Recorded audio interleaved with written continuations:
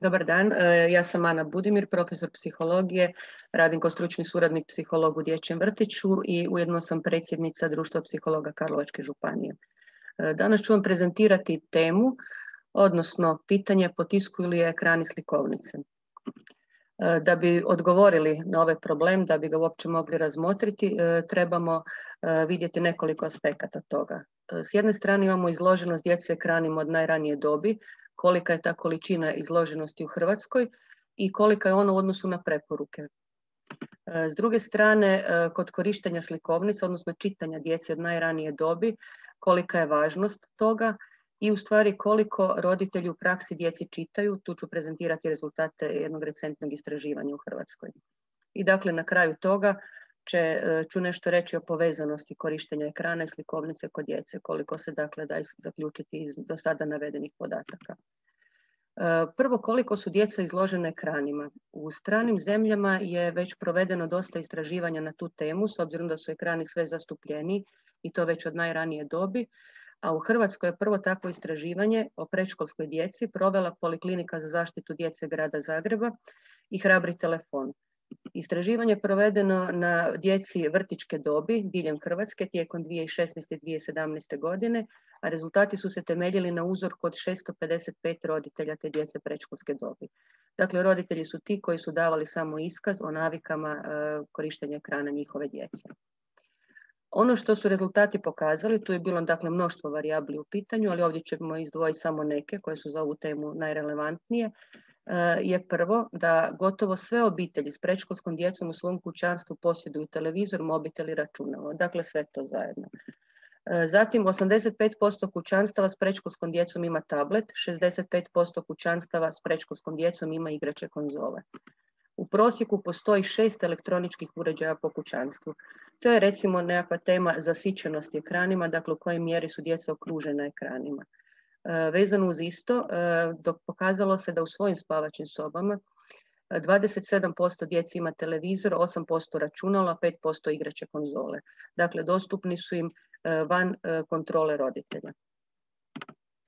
Što se tiče screen time takozvanog, to je vrijeme koje djece provede u stvari uz ekrane, koristeći određeni ekran, pokazalo se da gotovo 700 predškolaca o kojima su njihovi roditelji izvještavali, među njima nema niti jedan koji ne koristi barem jedan elektronički uređaj. Dakle, te suvremene e, tehnologije koriste svi. Pri tome treba naglasiti da najmlađa djeca su bila djeca jasličke dobi, nešto starije od godinu dana, dakle i oni koriste tehnologije prema priznavanju njihovih roditelja. Od toga, naravno, kao što je očekivano, većina, 97,2% gleda televiziju, više od dvije trećine koristi mobitel i tablet, 60% djece koristi računalo, a svako četvrto dijete koristi igrače konzole. Dakle, govorimo o djeci predškolske dobi. E, ovdje sam sada prikazala ono što je zanimljivo, to je prosječno vrijeme provedeno pred ekranima, e, koje je u ovom istraživanju izdvojeno posebno za radni dan, posebno za vikend i to po određenoj dobi to je ovaj prva slika, e, prvi prikaz. E, crveno su označena vremena koja su iznad preporuke Svjetske zdravstvene organizacije izvan, e, izvan preporuke pedijatara i svih stručnjaka koji se bave znači, djecom te dobi, njihovim razvojem, utjecajem ekrana na njihov razvoj. Dakle, vidimo da su stvari sve vrijednosti izvan onih preporučenih. Jer recimo ono što kaže Svjetska zdravstvena organizacija je da djeca do dvije godine uopće ne trebaju koristiti male ekrane. Dakle, oni e, nemaju nikakvu korist od ekrana i isključive posljedice su one negativne. E, po našim rezultatima 79% djece do dvije godine već koristi male ekrane. Isto tako, ova djeca nešto starije dobi, znači tri godine pa do polaska u školu, bi te male ekrane trebala koristiti maksimalno dva sata dnevno, ali kod nas je to e, više i od tog preporučenog prosjeka. Ovo što su znači generalne preporuke da, kao što sam rekla, i televizija i računala i tableti, dakle mobiteli ne predstavljaju nikakvu dobrobit za djecu mlađe od dvije godine, uopće se ne preporučuju toj dobi. Nakon te dobi potreban je nadzor sadržaja vremena korištenja, već je naglašeno dakle do dva sata maksimum do polaska u osnovnu školu. I osim kontrole, ono što je važno reći da je zadaća obitelji uči djecu o medijima i time oblikovati kritičko promišljanje o istom. Dakle, nadzirati sadržaj, komentirati sa djecom sadržaj, razgovarati o tome što djeca gledaju, kako su to doživjeli. Dakle, nije bitno samo vrijeme pred ekranom, nego i to na koji način ga dijete provodi, što točno gleda. E sad što se tiče važnosti slikovnice, vjerujem da su svi svjesni da je ona e, isključivo ima pozitivan utjecaj, da je vrlo važna za razvoj djeteta i to su i pokazali istraživanje i praktična iskustva da čitanje slikovnica djeci od najranije dobi je iznimno poticajno za djetetov socioemocionalni i kognitivni razvoj, znači za njegov cjelokupan razvoj. E, potiče se razvoj govora, potiču se govorne vještine, obogaćuje fond riječi, omogućuje učenje novih pojmova i činjenica.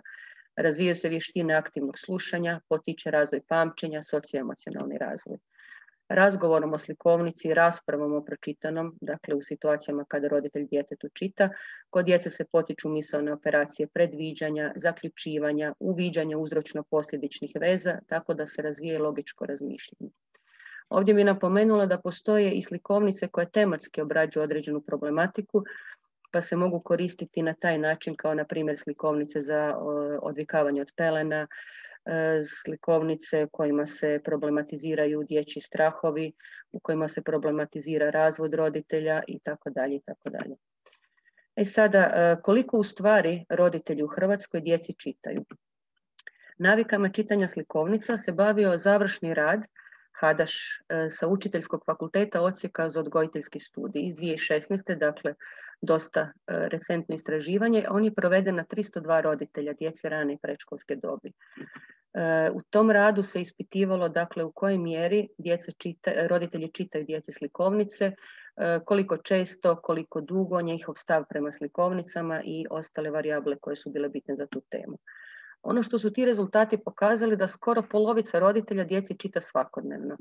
3 e, do 4 puta tjedno čita im 34,1%, e, dakle oko trećine roditelja, e, a jednom tjedno djeci čita 14,9% roditelja.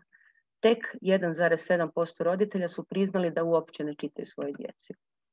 Autorica ovog rada stoga zaključuje kako suprotno njezinim pretpostavkama velik postotak roditelja čita slikovnice svoje djeci, pa se ta aktivnost nije pokazala zanemarena s obzirom na suvremenu tehnologiju, s obzirom na količinu igračaka koje djeca posjeduju na te ekrane kojima su oni okruženi. E sada, da li ekrani u stvari onda potiskuju slikovnice?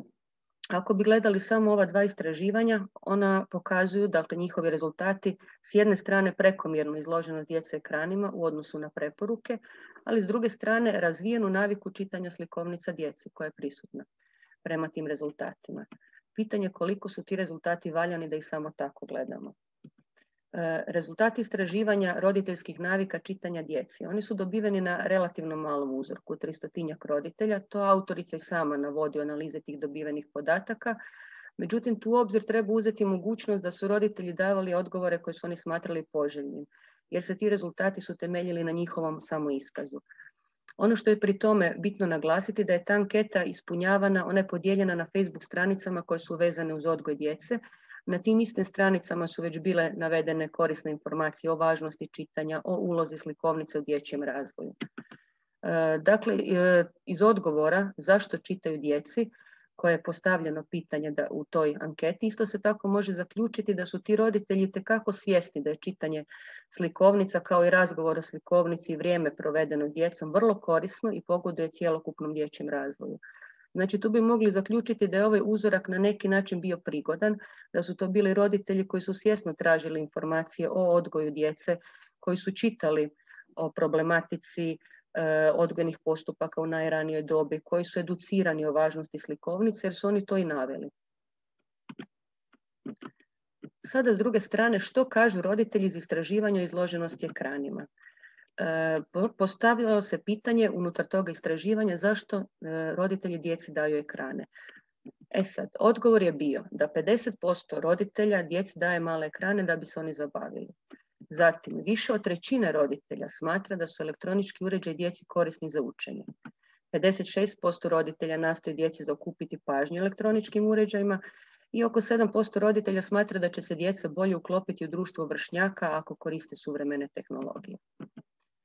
Stav roditelja prema ekranima koji je također ispitivan u tom istraživanju je pokazao da oko 50% roditelja ne zna procijeniti da li su ti elektronički uređaji štetni ili korisni za njihovu djecu. Trećina njih procjenjuje elektronički uređaj štetnima, no svejedno ih imaju, a 17% procjenjuje uređaje korisnima. Iz toga se da izvesti zaključak da je svijest o važnosti čitanja djeci od najranije dobi ipak još uvijek razvijenija od one štetnosti ekrana. Ili barem da što se tiče ovih istraživanja, istraživanje koje je provedeno vezano uz čitanje je provedeno na jednom uzorku koji ima razvijenu svijest o važnosti čitanja i samim tim su davali takve odgovore, dok što se tiče svjesnosti o štetnosti ekrana, mislimo da tu još treba puno raditi da se ona podigne.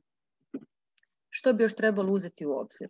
E, s obzirom da velik broj roditelji uređaj koristi kao zabavu djeci za okupljanje pažnje, što su oni naveli u tom istraživanju, logično bi bilo zapitati se u kojoj mjeri omogućavanje boravka uz ekrane smanjuje korištenje slikovnice i čitanje djeci. Dakle, samo to vrijeme se oduzima od vremena koje bi inače bilo provedeno na drugi način u slikovnicu. Također, e, nađeno je da neka istraživanja potvrđuju da djeca koja više borave pred ekranima rijeđe i s manje zadovoljstva slušaju priče i knjige koje im roditelji čitaju. E, to je logično e, kada uzmemo u obzir da djeca koja su navikla na ekrane, koja su navikla na brze izmjene slika, koja su navikla da jednim e, dodirom ekrana prelaze sa jedne aktivnosti na drugu, njima su aktivnosti poput čitanja monotone, spore, dosadne, one zahtijevaju previše truda u odnosu na ono što su oni navikli. Tako da ih oni onda manje preferiraju. Također e, pokazalo se da jedna od negativnih posljedica pretjerane izloženosti ekrana mogu biti e, smetnje pažnje i koncentracije, a one definitivno ne pogoduju čitanju, odnosno ljubavi prema slikovnici, prema knjizi kasnije.